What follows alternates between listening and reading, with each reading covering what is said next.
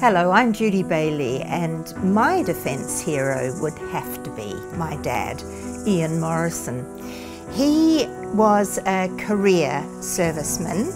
He flew with the RNZAF, but he trained with the RAF just before the Second World War.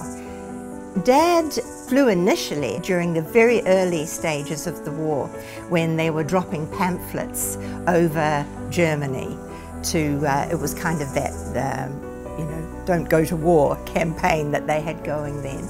And he also served in the Pacific War in the islands and saw a lot of action over Bougainville. After the war, he, he remained in the RNZAF and he went on actually to lead the Air Force uh, during the 60s. He was Chief of Air Staff and he was responsible during those uh, 60s uh, for re-equipping the Air Force and the planes that are flying today, the Hercules and the good old Orions, are planes that he was responsible for, for buying.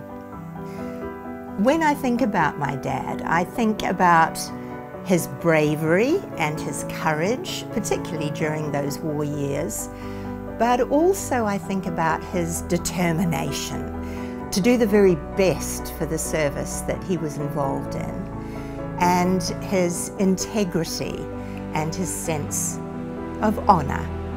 Um, so I think that's why I feel so thrilled to be part of this New Zealand military tattoo, which honours our defence heroes because, you know, he's definitely one of mine.